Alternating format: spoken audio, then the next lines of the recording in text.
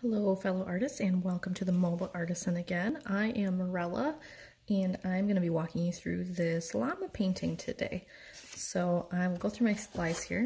I have a blank uh, 11 by 14 canvas. I have my small round paintbrush. I have a large flat paintbrush. I have a paint uh, rinse cup with water in it. I really like my old mason jar. I have a solo cup, so we're going to use the top of this to make some circles. I have just some paper towel to use to wipe my brushes off. I have my old paint smock that I have on today because acrylic paint will stain. Uh, parents, you'll also want to put a piece of paper um, or some other kind of covering over your table because acrylic, uh, acrylic paint will stain your surfaces. And then I have my paint palette of all my paints today. So I have just a plain black acrylic paint. I have a white acrylic, a light pink, a medium to dark pink, and then for our background color, I have a light kind of blue color. You can really go with any kind of light color that you want for this background, but I like the contrast that comes between these two. You could also go with kind of like a minty kind of green color too, which would be really nice. So again, oh, we're also going to need a pencil. But here's a peek at our painting again. So we've got our llama here with some dark pinks and some light pinks. Going to put these fun sunglasses on him too. And I thought the background was appropriate today because I don't know where you're located, but I'm in Michigan and we woke up to snow today. So a little bit of a snowy background for our llama today. And to start off, we're going to kind of look at our painting, our canvas in sections of three. So we've got one, two, three. And if we go about a third of the way down here, this is where the top of our llama's head's going to be. So I am going to take your pencil and curve uh, do a curved line just across the top of there. So again, that's just the top of his head there. And then we're gonna kind of curve back out and then bring that all the way down to the very bottom of the canvas. We're gonna match that on this side. Curve it back out and then bring it all the way down to the bottom of the canvas. So it kind of looks like one really big thumb there, right? And then we're gonna draw our uh, llama's ears in.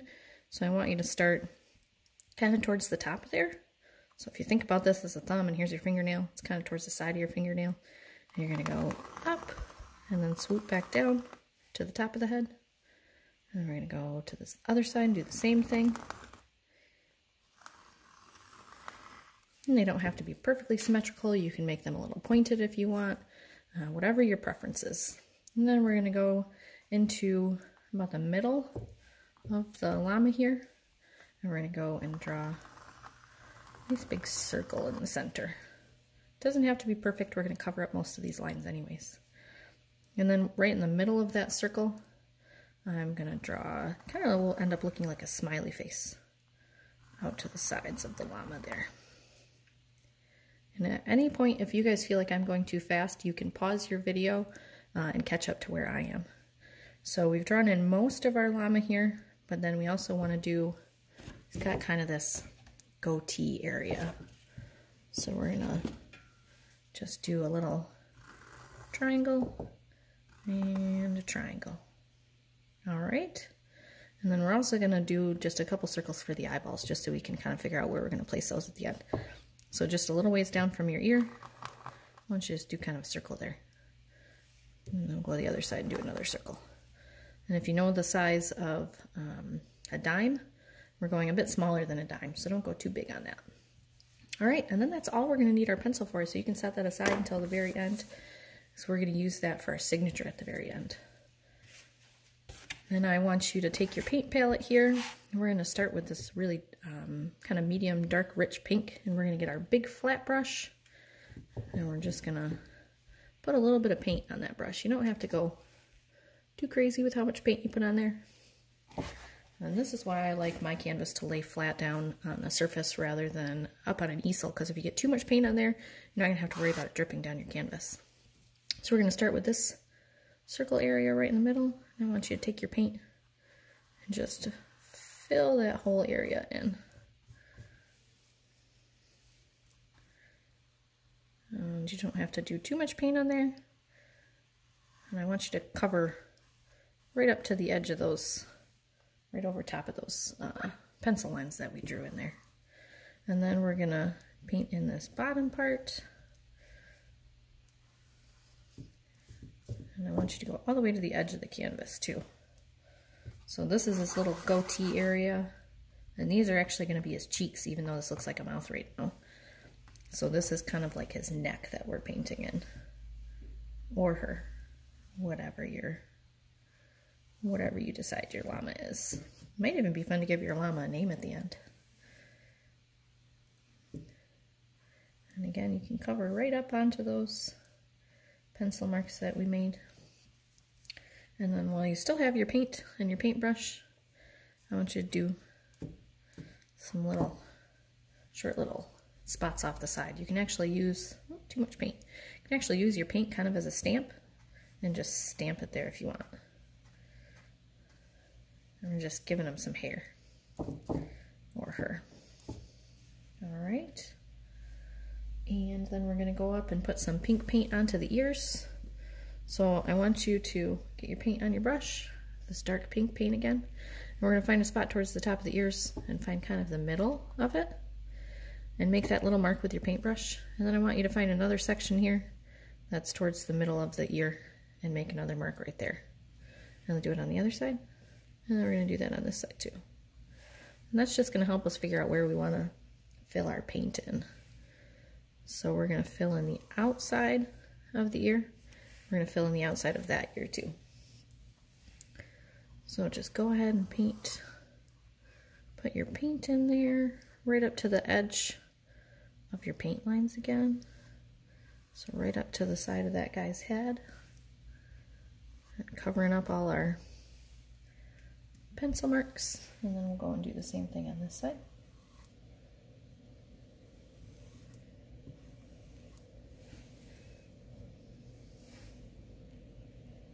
And I don't want you guys to worry too much about having perfect lines or perfect shapes or your shape matching mine exactly because that is the beautiful thing about art. Everybody's pieces are going to look individually their own. Even my piece is going to look different than my first piece. All right, and then we want to have a little bit of hair at the top of this guy's ears. So I want you to do the same thing with your paintbrush. Put just a little bit of paint on it, and then we're going to use it kind of as a stamp. Do one, two, three, four. I'm going to do that on this side too. One, two, three, four. See how that makes him look like he's kind of got some fluffy ears. All right, and then we do need to fill in a little bit of his goatee at the bottom here. So if this big paintbrush is uh, difficult, too difficult for you to fill this space in, then you can switch to your small paintbrush. But I just want you to fill in part of that goatee like that. We're just gonna leave this little edge just like that. And then I want you to rinse your brush off in your cup of water because we're all done with that dark pink for just a moment. And then once you rinse your brush off, I want you to make sure that you get it nice and dry on your paper towel or piece of uh, fabric too. So we want to make sure our, our paint doesn't get watered down. So I've got my nice clean brush. Then we're going to go back to our palette and we're going to go to this light pink this time. And we're going to start where we ended on our last one because I want you to blend that line just a little bit. So we're going to fill in the rest of our goatee here.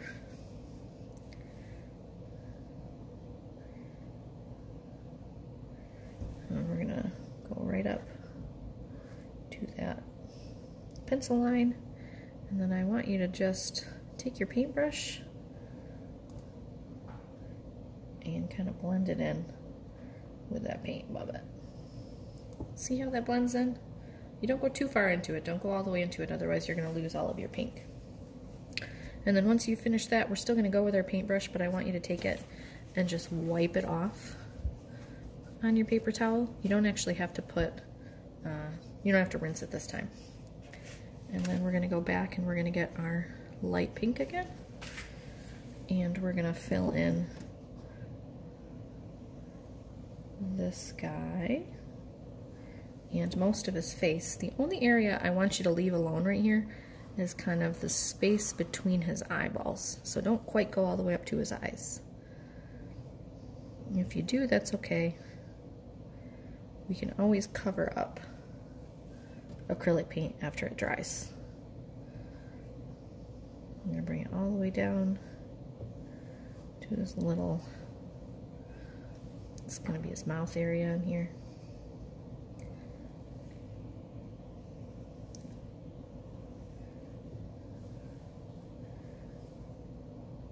And all the way around here.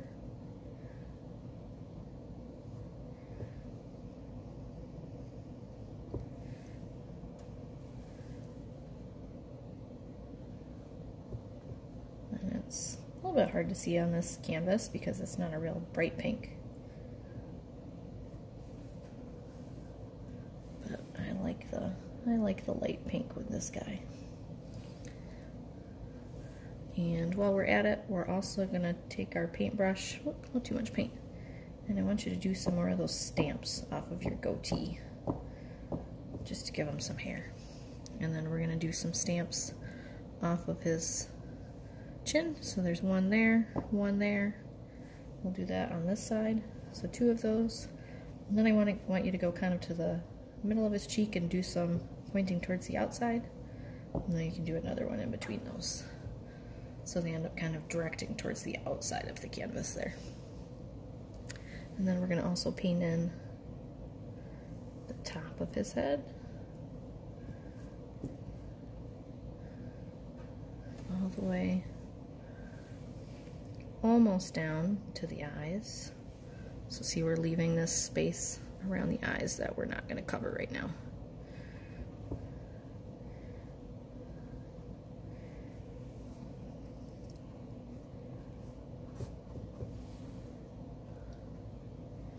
and we'll here. We'll leave just those eyes with some space around them. Then we're going to go up and we're going to finish these ears. And it's okay if you get into that dark pink paint. And if your paint up there isn't dry yet, and your, let's see, I'll show you. I got some dark pink paint on my brush. You can just wipe your brush off to get a little bit of that paint off if you don't want it to mix too much.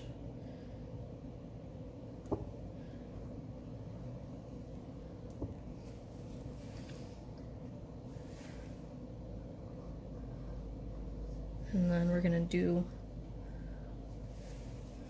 some fuzzy hair going out here. So we're gonna put some of the light pink paint on our brush again once you've filled in your ears. And I want you to do some some hair like it's going off his head and just use your brush as a stamp again.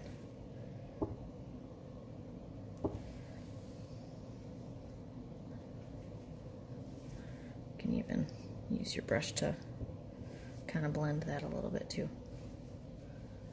And then we want to do some of that towards the top. So I'm going to kind of just make a uneven line at the top. And all I did for that was I used my brush kind of at different angles. So you can see there's a little bit of a line up there. It makes it look like he's got some hair coming off the top of his head. All right, and then I want you to wash your paintbrush off again. And this time we're washing it in our water and getting it nice and clean and then drying it off on our piece of paper towel or cloth again. So we've got a nice, a nice clean brush. And then we're gonna go to our white here. And I don't actually want you to coat your paintbrush right now. I just want you to dip it in there towards the top of it. And we're gonna add in some uh, kind of highlights to the fur. So I just want you to use it as a stamp down here. I think he's got a furry little chin. And we'll add in a couple more. And this paint is probably going to be a little bit wet, and so that's why we're just stamping it. We're not dragging our brush through it. And we'll do a couple down here. And then let's do a couple up here too. Go all the way over the over the ear there. And we'll do a couple more up here towards the top of his head.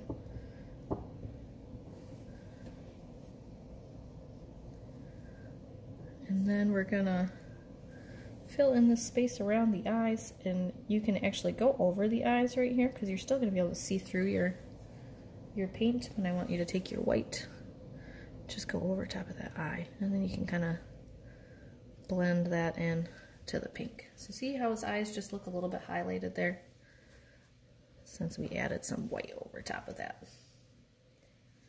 All right, and then I want you to wash your paintbrush off again. So we're gonna switch colors again. I have to use a whole lot of white there. So I washed my brush off, got my nice clean flat brush again. And after you rinse it and dry it, I want you to use your fingers to really flatten it out. Because we're going to use this as a stamp again, but we're using some black this time. So it's a little more important that your brush is uh, nice and has a nice smooth edge to it. So I'm going to take your palette again and we're just going to dip it into the black. There's not a whole lot of paint. You can see that there's just a small line on there. And then we're going to start with our little um, nose here. I want you to do a V, if you know your letters, at the top. And then we're going to make turn that into a Y. So we've got a Y right in the middle of the circle area here. And then we're going to do a line out from there and there. And then up. It's got a nice smiley face on our guy here. And then you can set that brush uh, to the side. And we're going to switch to our small brush here. I want you to take that and get a pretty fair amount of black paint on it. We're going to make his nostrils. So at the top of this kind of Y that we created here, we're going to just use it as a stamp. See? And we've got his nostrils. And then we're also going to take that, put a little more paint on it. And he's got to have a few spots where his whiskers are coming out. So I just want you to take your brush and do some, a couple little dots on there. One, two, three. One, two, three. And then we're also going to fill in our eyeballs. So you can kind of see these marks underneath the white paint. And just going to fill that in. And if your white paint is still wet, you can still go over top of it. Or you could come back later and add the eyes in if it's just too wet for you. And then we're gonna whoop, rinse off our small paint paintbrush one more time. And make sure it's nice and dry and nice and clean. And we're gonna stick with that small paintbrush and I just want you to do a dot of the white. We're just going to add a little highlight inside of his eye. And I know that black paint is really wet, so we're not going to move our paintbrush around on those eyes. We're just doing that little dot there. And then I want you to rinse your small paintbrush again. Because now we're going to create our, our glasses. So take your cup that you have and take your big fat brush that still has some paint on it and you're going to get some black paint and all you're going to do is paint it onto the top of your cup. It's easier this way than trying to dip it into paint because you don't need a puddle the size of the top of your cup for this. Just need a little bit of paint. And once you get that covered, you're going to see where your llama's eyes are and see where the center of his face is. And I want you to line the edge of this cup up with where the center of his face is. So I'm actually going to put my finger here and I'm going to put my cup up against the side and then I'm going to use it as a stamp. And then I need to get more paint on my brush or on the top of my cup because we're going to do the other eyeglass side. Make sure you get the cover or the top of your cup nice and covered. And then I'm gonna kind of eyeball this one and just make sure that the bottom of my cup here is about lined up with the same side as my glasses on the other side. And then I'm gonna just push it down there. There we go. And you kind of have to dedicate to where you want to put your sun your eyeglasses because you can't really move the cup around once you decide where you're going to put it. Then we're going to take that paintbrush one more time and I need to draw the little nose piece here. So as wide as my paintbrush is, I'm just going to find the spot that uh, that will connect with both of the eyeglasses and I'm just going to use it as a stamp, just like that. And that's all we have to do uh, for the black. So I want you to rinse your paintbrush off because we're going to use this big brush one more time uh, on the llama. So I rinsed it, now I'm going to dry it really well.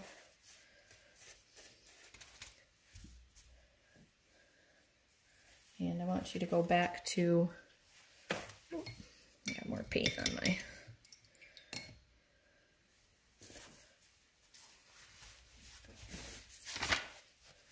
accidentally got some paint on my brush. So once your brush is nice and dry and clean, I want you to do that same thing where we flattened it out before you used your fingers and made it nice and that nice crisp edge. And we're going to use it as a stamp to make the llama's eyebrows. So you got this dark pink. I just want you to dip it in there again. And then right above your llama's eyes, I want you to do stamp one eyebrow and then stamp another eyebrow. I think I'm going to make his eyebrow just a little bigger. Choo! There we go. And then I want you to rinse your brush off again because now we're going to add in our background color. So your brush is going to be clean and nice and dry. And we're going to go with this light colored blue, or you may have decided on another light color. Then I want you to paint all the way around your llama. So you're going up close to the edge, but you really don't have to worry about filling in right up to the edge. And you know, your eyeglasses are still going to be wet since we just painted those in. And we're painting all through the background, but I don't want you to paint inside of the eyeglasses next to the llama. We're going to leave that alone. If you did already, it's okay. You don't have to fix it.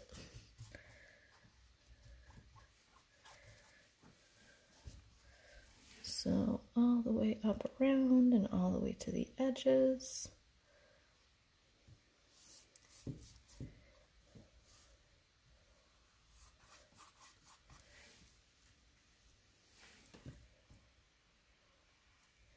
And I hope that you guys, once you've finished yours, you have your parents take some pictures and post it online so everybody can see it and so that I can see it and see all the fun work that you've done. And if you decided to give your llama a name, I'd love to hear your llama's name. Making sure we go right up to the edge for that funky llama here up on the top.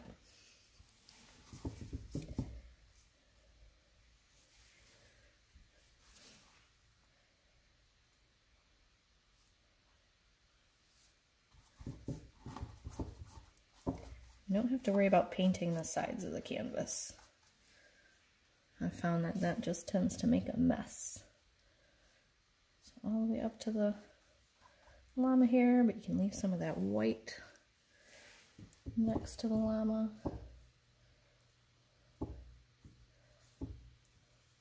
I like that it kind of, that white paint in there makes it look like some, some more wispy llama hair. Kind of glowing. All the way, all the way around.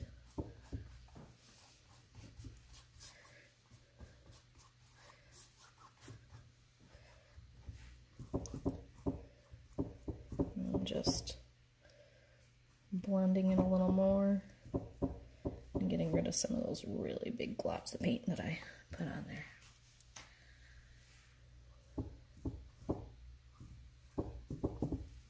Then we're done with our big brush. So I want you to rinse that, rinse that off, and dry it off. And set that one aside. And then I want you to take your small brush and make sure that's nice and clean and dry. And then we're going to draw all those snowflakes that I talked about in the beginning. So take your small brush and your white. And we're actually going to do this kind of as a stamp. So I like to do like some big ones. And it's totally random wherever you want to do these. And your background's still going to be wet. So if you try and move your brush around, it's just going to blend. So we're just taking some pretty, pretty, pretty big globs of paint here. And just laying it right over top of our really wet blue background.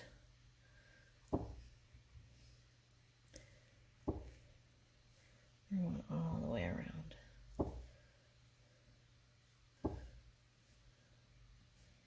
And this is another reason, or another example, of why I like my canvas laying down, because if it was up on an easel, all of our little snowflakes would be running right now. We don't want that to be the case. And you can do as many or as few as you want in whatever kind of pattern or randomness that you want.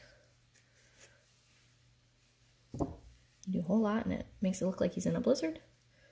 And you do just a few and it looks a little more like the snowfall that we hit this morning. And that is it. That's my little llama guy. I don't have a name for him. I'd love to hear your suggestions on what I name my guy. And then the very, very last thing we're going to do is we're going to take our pencil and we're going to sign it. You always have to sign your piece. Be proud of the work that you put in. And I'm going to sign mine in this pink because that's the one portion of my painting that I know is really, really dry.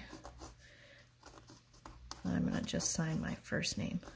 You can sign your first name and last name or last name only, or you could do your initials. You can put on the, on the date if you want. However you decide that you want to do it and be proud of it. So that is it. That is all. I appreciate all of you coming today and watching my video. Um, I'd love to hear your feedback and see all your photos and hear what picture since we're all stuck at home right now. So I hope that you will follow me, The Mobile Artisan. I'm on Facebook and Instagram um, and send me any questions you might have. Thanks and have a good day.